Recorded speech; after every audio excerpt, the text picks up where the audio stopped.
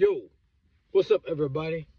Yo, I was just thinking, you know, the reason everybody got a podcast about dating is because men, black men and black women really don't know what it takes to meet somebody and spend the rest of your life with them. We don't, to be honest, we don't. Like I keep telling you, my boxing trainer said he met his wife and he been with her from the first day he met her. He said the first day he met her, he knew he was gonna be with her for the rest of his for the rest of his life. And they've been together 57 years now. But it's not like that now. It's not like that because one, social engineering and TV, and most guys, especially if you grew up in the projects, grew up without a father in the house. You might have grew up with an older brother or an uncle or something, but a lot of times the father couldn't be in the house.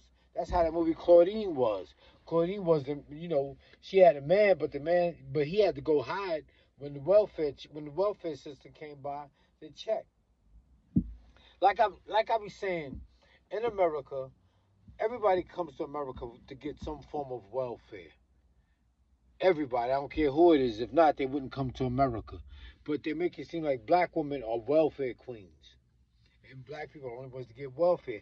But everybody comes to America to get some form of welfare. If not, they will stay in their country.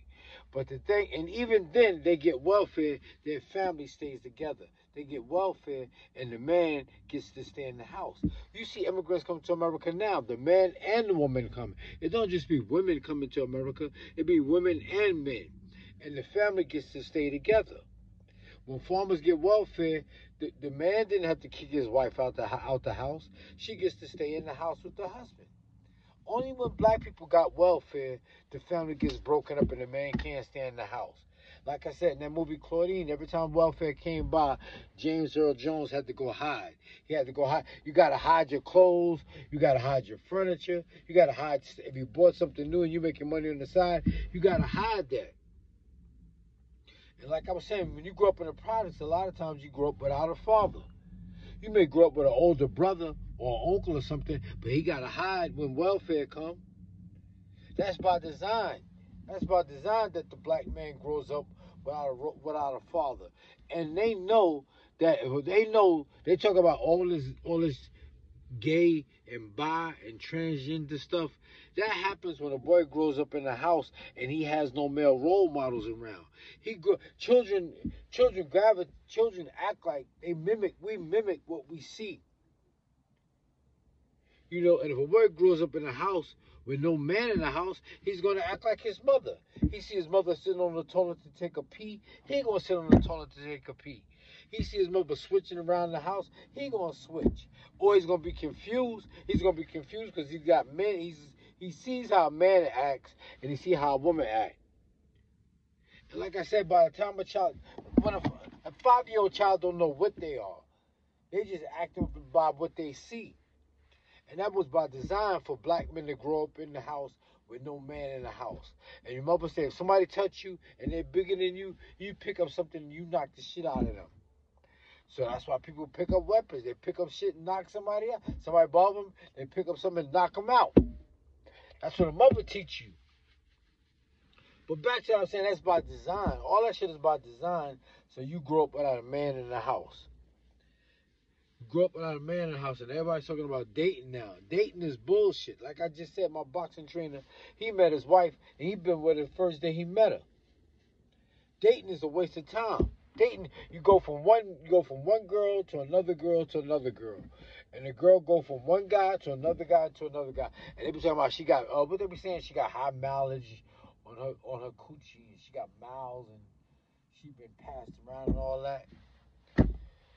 Nobody teaches nobody teaches black women about nobody teaches black people how to meet somebody that you want to spend the rest of your life with. And then, you know, comedians white comedians be making jokes about no black men and uh, no black father stuff like that. That's by design. Everything bad that happens to black people is by design. That's all social engineering. But now we got this we got these podcasts about dating and all that. And like like I always say, I done said it a thousand times. My man told me, he said, if you want a girl that you want to be with for the rest of your life, Look for the bad. Look for the bad shit about her. Look for the things you don't like about her. and ask yourself, can you tolerate the bad stuff? Because if you can tolerate the bad stuff, then the good stuff is gonna come to the surface.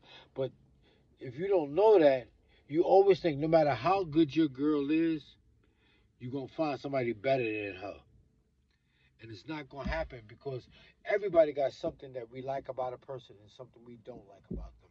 You might get you the prettiest girl in the world, but she's annoying, she's sloppy, she don't pick up after herself, you know, she lies. Or you might meet a girl that, you know, it's gonna be something about that girl that you don't like. But you can't change whatever it is that you don't like about her. There's gonna be something for the girls. There's gonna be something about that guy that you don't like. But you can't change it. That's why you gotta accept people the way they are. They're not gonna change. Grown people don't change. Grown people don't change, and we trying to change grown people. I had to learn that myself. But back to what I was saying is that's why we that's why you got all these podcasts and stuff now. People were trying to talk. People, TV makes you think you're gonna find somebody perfect. Nobody's perfect. We all got flaws. We all got something that you don't like about us. Everybody, everybody has something that you don't like about that person. Me, I hate liars. I hate liars. I hate liars and I hate sneaky. I hate sneaky women. I hate that shit. But it is what it is. You gotta take the good with the bad. You know what I'm saying?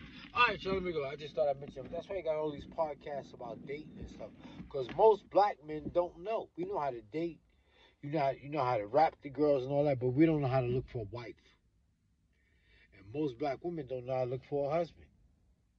Everything bad that happens to black people in America is by design. It's called social engineering. I don't care what nobody say. That's why. You, that's why. That's why the hood is like the hood.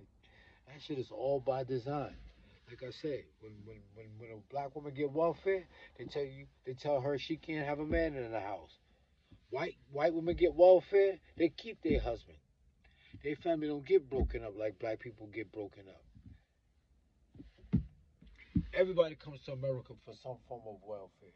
And they use those, like I said, they use those jaded and ambiguous terms.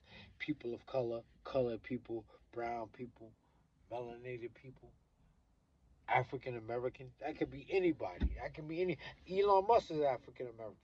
Charlize Theron is African American. African American. There's always going to be something that's going that's going to handicap black people. Always because in America, you need somebody to pick on. You need somebody to, no matter how bad you're doing, you need somebody to say, I'm doing better than you. That's what you need in this country. That's why it's like that. No matter how, I just thought I'd bring that up. All right, y'all. Take it easy. Like always, check out my poetry book. Don't beat your children or they'll turn out like me. And my other poetry book, corner store in the middle of the. Remember that. Remember that, fellas. You're not gonna find a perfect girl. There's nobody. There's nobody that's. There's no female that's gonna do 100% of everything you want. You gotta look for the good and look for the bad. Look for the. Look for the shit you don't like and ask yourself, can you live with it? Because whatever it is you don't like about it, you can't change it. Grown people don't change. That's why we're making those songs. Don't make me over and all that. all I need is Good energy.